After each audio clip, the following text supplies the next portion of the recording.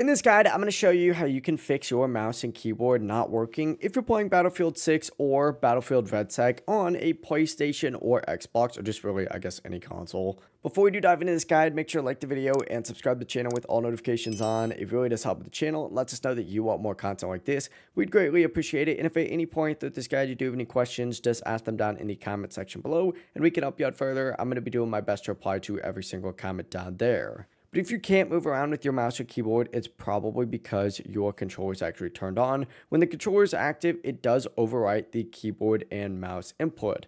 What I recommend doing is just turning off that controller. If you're on a PlayStation, hold down that PlayStation button, scroll over to your controller right here, select it, and then hit turn off. If you're on Xbox, just hold down that Xbox button because it's going to disable your controller. Once that's off, test to see if your mouse and keyboard is working and it should work freely. You can press enter or navigate the menus and confirm everything is responsive.